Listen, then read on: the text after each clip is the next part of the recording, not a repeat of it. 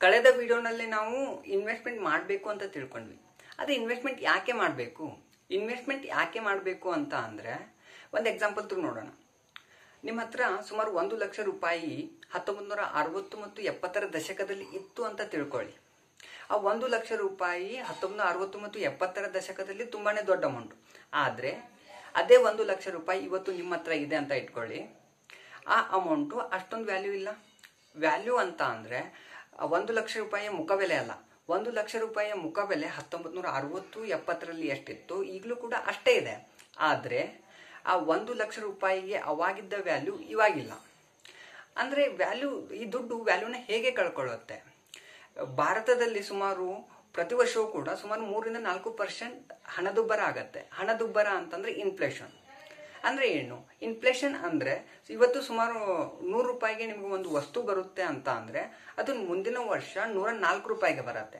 ಅಂದ್ರೆ ನಿಮ್ಮ ಹತ್ರ ಇರುವ ದುಡ್ಡು ಪ್ರತಿ ವರ್ಷವೂ ಕೂಡ ಸುಮಾರು ನಾಲ್ಕು ಪರ್ಸೆಂಟ್ ವ್ಯಾಲ್ಯೂವನ್ನ ಕಳ್ಕೊಳ್ತಾ ಹೋಗುತ್ತೆ.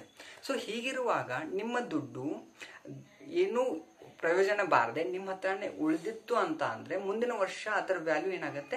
ನಾಲ್ಕು ಪರ್ಸೆಂಟ್ ಕಡಿಮೆ ಆಗುತ್ತೆ. ಸೊ ಹೀಗಿರುವಾಗ ಜೀವನದಲ್ಲಿ ಈ ಇನ್ವೆಸ್ಟ್ಮೆಂಟ್ ಅನ್ನೋದು ತುಂಬಾನೇ ಇಂಪಾರ್ಟೆಂಟ್ ಆಗುತ್ತೆ.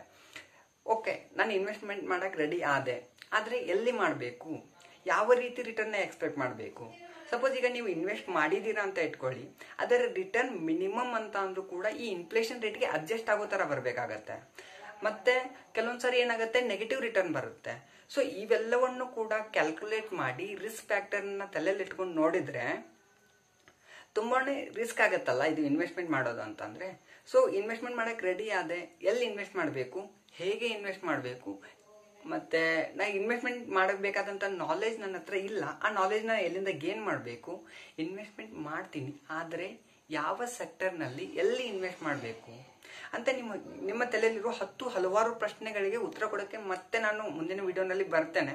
ಅಲ್ಲಿವರೆಗೂ ನಿಮಗೇನಾದರೂ ಪ್ರಶ್ನೆಗಳಿದ್ರೆ ಅಥವಾ ನಿಮಗೇನಾದರೂ ಕಲಿಬೇಕು ಅಂತ ಆಸೆ ಇದ್ದು ಅದರ ಯಾವುದೇ ರಿಸೋರ್ಸ್ ನಿಮಗೆ ಸಿಗ್ತಾ ಇಲ್ಲ ಅಂತ ಅಂದರೆ ಪ್ಲೀಸ್ ಈ ಕಮೆಂಟ್ ಬಾಕ್ಸಲ್ಲಿ ಕಮೆಂಟ್ ಮಾಡಿ ಅದಕ್ಕೆ ತಕ್ಕಂಥ ವಿಡಿಯೋಗಳನ್ನ ಮಾಡುವ ಪ್ರಯತ್ನವನ್ನು ನಾನು ಮಾಡ್ತೇನೆ. ಧನ್ಯವಾದ.